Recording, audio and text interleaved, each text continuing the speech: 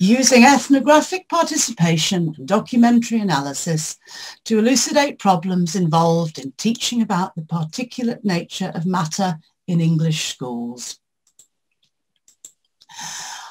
I've been uh, a teacher for very many years. I have an honours degree in chemistry, a master's in science education, CSciTeach accreditation, and I'm a member of the Royal Society of Chemistry. And I taught science in secondary schools in England for 25 years. Okay, so the focus of my talk is how documentary analysis and ethnographic participation methodologies developed and matured during a qualitative PhD study. So start with my personal interests and, and who I am. That's what led to the initial topical research. So um, I taught, as I say, I taught for 25 years in English schools. Um, I always say English schools because of course the curriculum is very different or significantly different in England, Scotland and Wales. So we're talking about the English school system here. Um, my interests had always been around the key stage three um, science and chemistry teaching.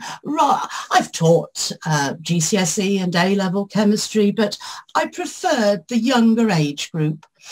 Um, so my topical research was very much primary and secondary teachers, pedagogies, primary and secondary transition matters. So I'm very interested in the transition um, from primary school to secondary school and children's concepts of matter at different ages. And in particular, what is happening actually in schools at this current time. Um, and that led to my initial exploratory survey. And all of that led to the guiding research question. So in effect, what I've put up here is the methodological approach towards the research question which guided my research.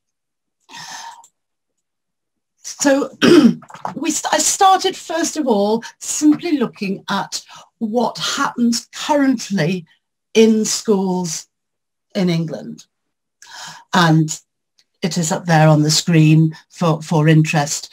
Obviously, the focus of this talk is my methodology. And so methodology spans so much. And to me, it also, you look at how you arrived at what it is that you want to research in the first place. Um, and so I was particularly interested in exactly what happens in school teaching chemistry uh, to young people. And I put up here, I will put up here my overarching research question because I think it helps if I have positioned myself properly in this discussion, it will help you to know about exactly what what I have been researching to understand a little bit more about the methodology behind it. So my overarching research question is, does the national curriculum for science in England adequately support teachers in years five, six and seven, so that is either side of the primary to secondary transition phase enable pupils to gain a meaningful understanding of the nature and behaviour of matter by the time they enter Key Stage 4. Almost as long as I have been a teacher, I have been aware of very significant issues with children at GCSE level who still do not have a meaningful understanding of the particle nature of matter. Um, and this became my really key interest. Initially, I used two small-scale exploratory surveys before proceeding with my final methodological, uh, methodological approach, which was an ethnographic study. My two small exploratory surveys were a sample to a sample of Key Stage 2 Year 5 teachers and a sample of Key Stage 3 Year 7 teachers. And I, the aim of the survey was just to get a, a feeling um, for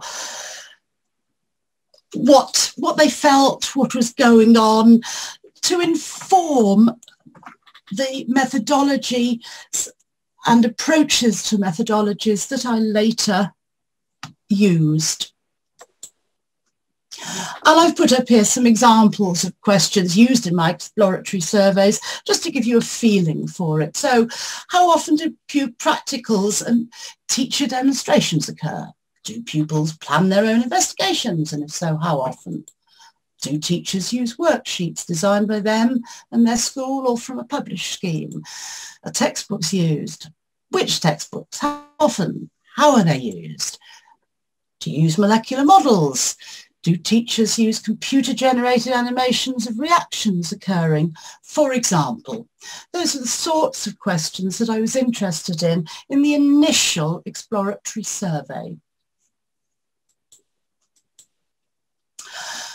So the methodology developed into a documentary analysis of the national curriculum document, documents uh, for Key Stage 1 and 2 and Key Stage 3 and ethnographic participation in classrooms in year 5 and year, year 5 in primary schools and year 7 in um, secondary schools.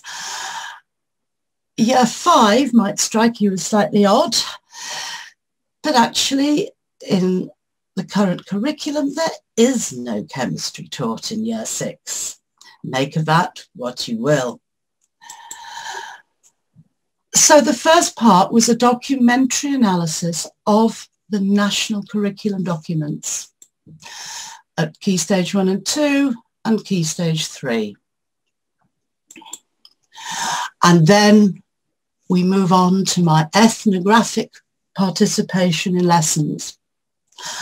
I found Hammersley and Atkinson's definition of ethnography the most useful and I present it here.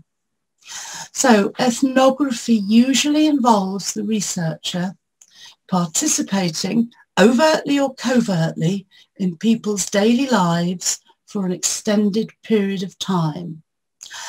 That I think is, is a really good uh, description of methodology. So this is also from Hammersley and Atkinson the five points that he emphasizes to me capture ethnographic participation very, very well indeed. So in the first, the first point is people's actions and accounts are studied in everyday contexts rather than solely under conditions created by the researcher as is the case with experiments or highly structured interviews. So ethnographers are trying to get as close as possible to, I hesitate to use the word reality, but at the moment I can't think of a different word. Um, Second point, data are gathered from a range of sources, including documentary evidence of various kinds, but participant observation and or informal conversations are usually the main ones. Data collection is for the most part relatively unstructured in two, in two senses. Firstly, it does not involve implementing a fixed and detailed research design specified at the start. Second, the categories that are used for interpreting what people say or do are not built into the data collection process, for example, through the use of observation schedules or questionnaires. Instead, they are generated out of the process of data analysis. The focus is usually on a few cases, generally small scale, perhaps a single setting or a group of people. This is to facilitate in-depth investigation. And at the end, the analysis of data involves interpretation of the meanings, sources, functions and consequences of human actions and institutional practices and how these are implicated in local and perhaps also wider contexts. What are produced for the most part are verbal descriptions, explanations and theories. Quantification and statistical analysis play a subordinate role at most. So, how I used ethnography in my own data collection. I went into school classrooms uh, I went into primary school classrooms and secondary school classrooms. And I worked as a teaching assistant um, to allow me to try and get as close to, again, I use the word reality, as possible. With the pupils in the classroom, that was incredible because they simply took me as a teaching assistant. Therefore, they reacted to me as a teaching assistant. So I was able to get really close to the pupils, to what they thought, to what they understood, to their the meanings they ascribed to things not quite so easy with the teacher because of course the teacher knew that I was a researcher. Therefore, I was very conscious that quite often the lessons that I was in, the teacher had planned very particularly because she knew or he knew uh, that I was going to be present and looking at their lessons. I did as much as I could to try and persuade the teachers in my study to disregard me, um, but obviously that they would have taken a large notice of who I was and what I knew. So when analysing the data for that, I had to be very conscious for that. But it allows, ethnography allows me to discover as much as possible about what motivates and drives people's lives and actions and allows me to get, yes, as close as possible to other people's understandings of the world we live in.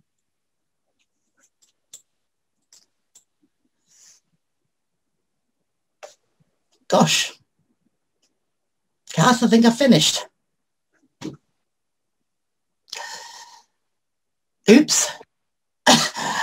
Wasn't quite 15 minutes. Or was it? Oh, wicked. Was that, was that real? Wait a minute, let me just uh, get back to uh, a proper view. Wait a minute. Uh, I'm going to get that out of the way. And oh, machine. No, it doesn't matter. It's all right. I'm, I'm trying to, let's see. It's all right. Ignore me Recording for a minute. Anyway, stopped. Sorry. Hey, what? All right. No, no, that's